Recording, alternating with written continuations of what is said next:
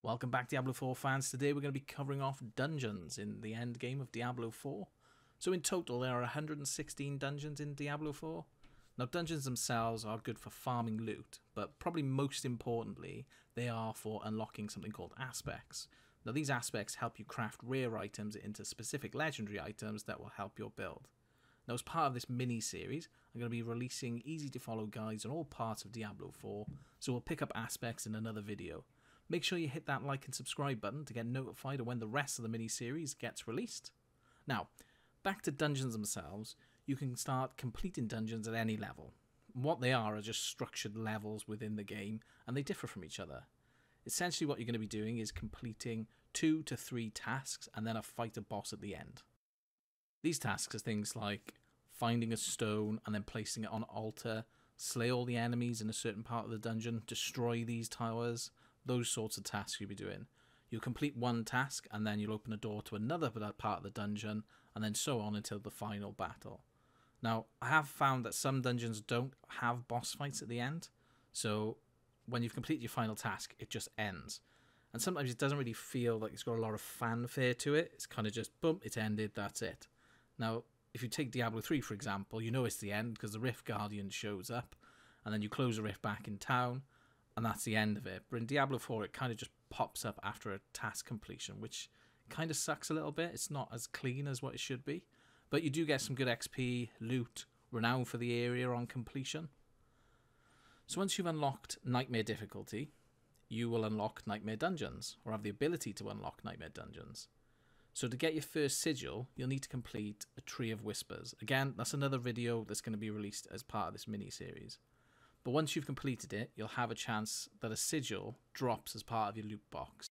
That itself will be tier 1 sigil. So dungeons go from tier 1 to tier 100 and then they scale in difficulty from 1 to 100.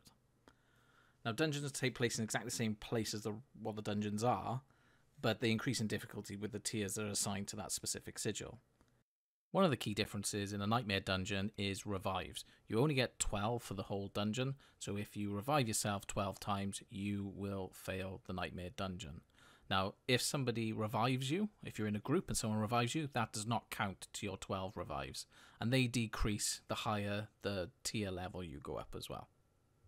Within a Nightmare dungeon, you will start to see drops of certain items like glyphs. Now glyphs are used on Paragon boards, but again, I'm going to be picking up that in another video of these mini-series that we're releasing. Now back to Nightmare Dungeons, not only scale in difficulty with the tiers, they also have something called afflictions put on them. So you'll sometimes see uh, a rock chasing you with lightning affliction. It's indestructible piece of floating rock that's going to chase you all around the dungeon it will have a set area of damage, so make sure you've got to get out of the way before it goes off. Another one is an orb that turns into a shield, and if you're not under that shield after the allotted time, a bolt of lightning will hit you, causing damage, sometimes it's fatal damage. Now, the higher you go up in tiers, you could have up to 5 afflictions within a Nightmare dungeon. And like I said, tiers range from 1 to 100, and the higher the difficulty, the more XP and the more loot that you'll get when you've completed them. So after completing your first Nightmare dungeon, you'll be able to start crafting those sigils within the cultists. So that's awesome. That's really good. It keeps you going along. You will get a drop of a sigil within the Nightmare dungeons as well. Main focus of Nightmare dungeons is XP, is renown, but more importantly, at the end of it, you get to upgrade your glyphs. And you get to upgrade them. The higher the tier, the higher the amount of XP you get to put on the glyphs. Glyphs are using paragons. I'll cover that in another video. And really, that is everything that you'll need to know about Nightmare Dungeons in Diablo 4.